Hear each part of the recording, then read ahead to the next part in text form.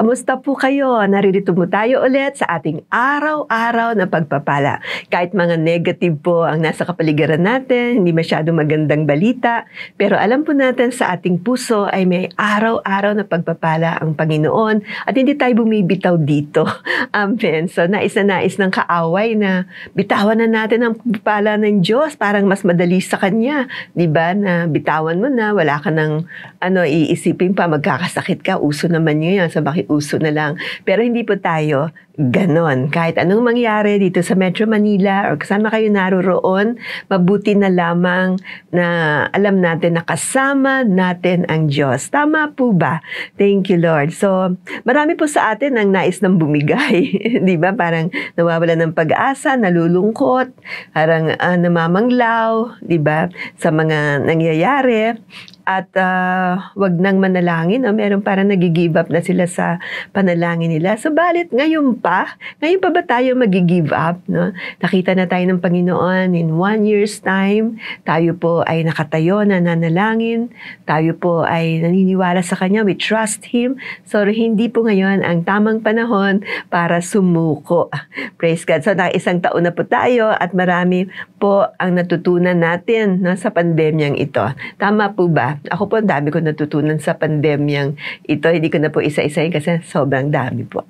So, isang karakteristik ang mananatili sa atin ng sa mga tagasunod ni Kristo, kung may karakteristik na, you know, um, mananatili sa atin, tayong mga tagasunod ni Kristo, ay ang generosity o ang kusang loob na pagbibigay. Okay, bukas na pagtulong sa ating kapwa. Okay? Maalala ko po yung uh, example ng pagtuturo ng aking lola Idang. Pangalan niya Idang. Sabi niya sa akin, ano Victoria, parati kang tumulong kung kaya mo.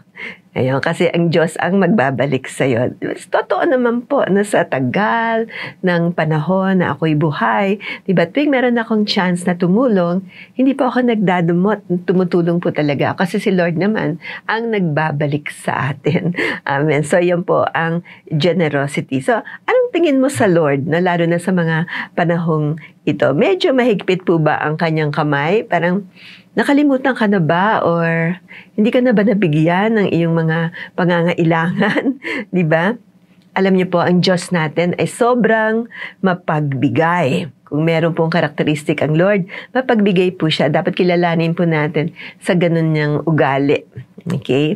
So sabi po sa um, Psalms 36, verse 1, Pumapasok sa puso ng masamang tao ang tukso ng pagsuway, kaya wala na lang silang takot sa Diyos.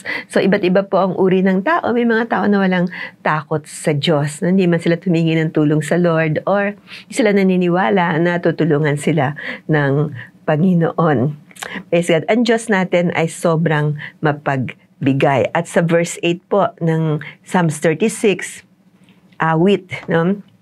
Sa inyong tahanan ay pinapakain nyo sila ng masaganang handa at pinapainom nyo sila sa, sa inyong ilog ng kaligayahan. Ganon si Lord, di ba? Kung tayo po ay close sa Kanya, tayo naman ay we trust Him, tayo yung titiwala sa Kanya, no? kahit anong mangyari, bibigyan pa na tayong inumin, bibigyan tayo ng pagkain, pangangalagaan niya yung ating pamilya, na yun po ang mangyayari na yung ating pananampalataya sa ugali ng ating Panginoon. Thank you, Lord.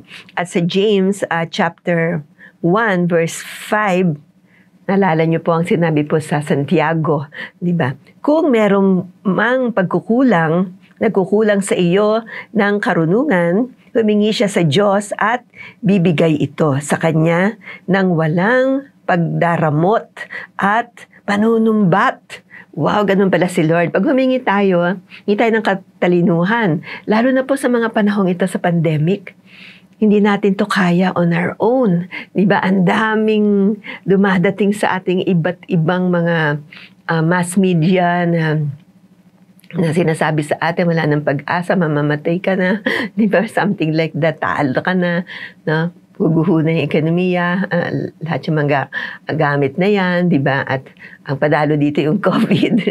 Hindi po, humingi tayo ng katalinuhan sa Diyos. At tayo po ibibigyan ng katalinuhan ng Panginoon. Anong pong sabi niya? Walang pagmamaramot at walang panunumbat. Di ba napakabuti po ng Diyos? Basahin po natin ang ang awit or mga awit 36 verses 1 to 12. Nabasa na natin yung verse 1. Mag-umpisa pa tayo sa verse 2. Dahil mataas ang tingin niya sa kanyang sarili, hindi niya nakikita ang kasalanan para kamun- kamunhian ito. Ang kanyang mga sinasabi ay puro kasamaan at kasinungalingan. Hindi na niya iniisip ang paggawa ng ayon sa katarungan, karunungan at kabutihan. Kahit siya'y nakahiga, nagpaplano siya ng masama. Ano, marami daw taong ganito. Malayo sa Diyos, galit sila sa Panginoon nag uh, napagpasyahan niyang gumawa ng hindi mabuti at hindi niya tinatanggihan ang kasamaan. Panginoon, ang iyong pag-ibig at katapatan ay umaabot hanggang sa kalangitan. Ang iyong katwiran ay kasing tatag ng kabundukan. Ang iyong paraan ay paghatol sa sinlalim ng karagatan. Ang mga tao o hayop man ay iyong iniingatan o Panginoon. Napakahalaga ng pag-ibig ninyong walang hanggan, O Diyos. Nakakahanap ang tao sa pagkalinga sa inyo tulad ng pagkalinga ng inahing manok sa kanyang mga inakay sa ilalim ng kanyang pakpak. Sa inyong tahanan ay pinapakain niyo sila at uh, masaganang, masaganang handa at pinapainom niyo sila ng inyong ilog ng kaligayahan. Dahil kayo ang nagbibigay ng buhay, pinapaliwanagan nyo kami at na naliliwanagan ang aming isipan. Di ba? So, ang Panginoon po, pinapakilala niya kanyang sarili sa generous God. Okay, kung tayo lalapit sa Kanya, hindi naman po niya ikakapagkakait sa atin yung mga uh, pangangailangan po natin. Thank you, Lord. So, nagbibigay siya sa lahat ng taong humihingi sa Kanya. Marami pong tao hindi na humihingi sa Diyos, di ba? Iniintay na nila kung saan gagaling yung ayuda. Doon na lang sila nakatingin. Pero una nating tignan ay tumingala tayo sa langit. Sabi natin, Lord, I need your help. Tulungan niyo po ako, Panginoon. Sa verse 1, sabi ko kanina, ayaw ng mga tao sa Diyos. So, walang magagawa ang Panginoon. Maybe sa bansang Pilipinas, marami pong may ayaw sa, sa Lord dito. Mukhang religious tayo, pero religious lang. No? Wala talagang relasyon sa Panginoon. Kasi makikita nyo, yung lalim ng korupsyon, lalim ng mga patayan, di ba? Lalim ng mga nakawan, di ba? Parang walang takot talaga sa Diyos. Okay, so, and sa verse 4, yung mga tao daw na malayo sa Diyos ay uh, nawawalan sila, no? Naw, nawawalan, uh, nawawalan sila ng katalinuhan. Ang sakit po nun, di ba? Okay na yung matalino ka, di ba? Wag ka lang mawala ng katalinuhan. Subalit kahit ganito ang kondisyon, ay umiinom pa rin siya mula sa Diyos. Kung sakasakaling magbalik loob tayo sa Panginoon, ay uh, tatanggapin pa tayo ng Panginoon. Patuloy niyong ibigin ang mga kumikilala sa inyo at bigyan ninyo ng katarungan ang mga namumuhay ng matuwid. Hallelujah! Hallelujah! So, walang kondisyon po ang pwedeng magpigil sa kabutihan ng Diyos para sa atin.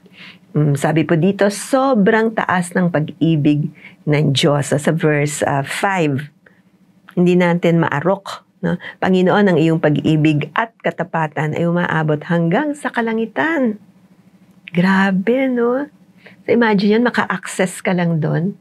Siya, una-una, dapat ikaw umiibig sa Panginoon kasi siya nang unang umibig sa atin. So, ang response natin ay ibigin natin siya na alisin natin yung ating mga kayabangan at tayo lumapit sa Kanya, humingi tayo ng kapatawaran, di ba? Para tayo po ay matanggap niya. Thank you, Lord. So, ang layunin ng Panginoon, sabi po sa verse 6, uh, ah, ang layunin ng Panginoon sinlalim no, ng karagatan, di ba? Ang iyong katwiran kasing tatag ng kabundukan, ng iyong paraan ng paghatol ay sinlalim ng karagatan. Ang mga tao, hayop man, iyong iniingatan o Panginoon. So, ang layunin ng Panginoon ay ta- Titanic. No? Napakalaki po nun. No? Highest mountains. Yan po, napakataas na mga bundok. So, hindi po natin maisip kung gaano yung magnificence ng Diyos, kung gaano siya kabuti, kung gaano siya nagmamahal sa atin. Kasi minsan, binababa natin yung ugali niya bilang tayo. Malayo po. Malayo parang alabok lang no, compared to His wisdom and His generosity. Ang katarungan o justice ng Diyos ay oceanic. No? Oceanic. No? Ito ay malalim na karagatan. Hallelujah. Hallelujah. Sinlalim ng karagatan. Mga paraan po yan ng Diyos. So, He'll never run out ng kanyang mga paraan o mga ways. Huwag lang po tayong maging impatient, di ba? Huwag tayong mag-give up agad. Di ba? Huwag tayong konti lang hindi masagot yung panalangin mo. Nilalagnat ka pa, di ba? Eh, tumatalikod ka na sa Diyos. Patuloy lang po tayong manalangin at ay observe po natin lahat yung ah, para sa ating ah, um, health. No? Yan po. Okay? So, maari tayong sumilong sa shadow ng kanyang pakpak. Di ba? Maari tayong kumain sa kanyang abundance o generosity. Pangako po yan ng Diyos, di ba? Tayo ay sisilong doon, ba? Mainit na mainit na, or umuulan, umuulan, di ba? Sisilong tayo sa kanyang pakpak. Hallelujah. At tayo po ay kumakain doon sa abundance o generosity. Huwag nating maliitin ng Diyos. Kaya po niya tayong tulungan. Lahat ng ito ay lubos niya at nais ipagkaloob sa ating pakikipag-ugnayan sa Kanya. Praise God. So kung may pakikipag-ugnayan tayo sa Panginoon, then tayo po ay magtatamasa ng mga bagay na ito. So sincerely from your heart, manalangin po kayo ng ganyan. Sabi niyo, Ama, sa pangalan ni Jesus, ako po'y lumalapit sa iyo. Humihingi po ako ng kapatawaran sa lahat ng aking mga kasalanan. Sa araw na ito, Lord, ako po ay humihingi, Lord, ng isang ah, ugnayan sa iyo, Panginoon. Lord, mula sa aking puso, iniimbita kita, Panginoon, sa aking buhay. Ako'y nagtitiwala na ikaw ang Diyos. Ikaw ang Panginoon ng lahat ng Panginoon. Salamat po, O Diyos, sa pangalan ni Jesus. Amen. Amen. So, pasalamat po tayo sa Panginoon. He generously gives the Holy Spirit to us na siya po yung moving force natin dito sa araw-araw na pagpapala. So, keep smiling. Wag po tayong bibigay agad sa mga kondisyon sa ating buhay. Amen. Tayo po ay magpasalamat sa Diyos at kinabukasan makikita po natin malaki na po ang pagbabago para sa kabutihan sa ating mga tahanan. God bless you and receive the healing of God sa inyong pamilya, sa sarili mo, magkaroon ka ng ah, kagalingan in the name of Jesus. God bless you and bye-bye.